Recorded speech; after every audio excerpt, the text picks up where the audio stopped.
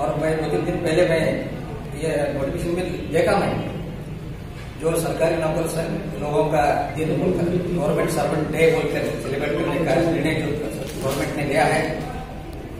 मैं इस मौके पर मैं आश्वासन देना चाहता हूँ कि आने वाले 21 अप्रैल को कर्नाटक गवर्नमेंट एम्प्लॉज डे बोल के जो सेलिब्रेट होता है, उस मौके पर हमारे तालुका सरकारी संघ के अध्यक्ष अध्यक्ष के अध्यक्षता में पूरे सरकारी नौकर संघ लोगों को सम्मान करने का निर्णय हमने मन में ठान लिया है। भगवान से दुआ से, आप लोगों की सहायता से आने वाले दिनों में अप्रैल इक्कीस को पूरे बसुकल्याण तालुका हलसूर तालुका, जितने भी जो तालुके में गवर्नमेंट सर्विस लोग हैं,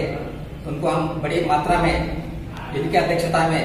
सभा भवन में हम सम्मान करने जा रहे हैं। ऐसी सोच रखते हुए फिर एक बार मैं इनको, हमारे अध्यक्ष को, हमारे मित्र को, जीवनानंद सर को, मैं बहुत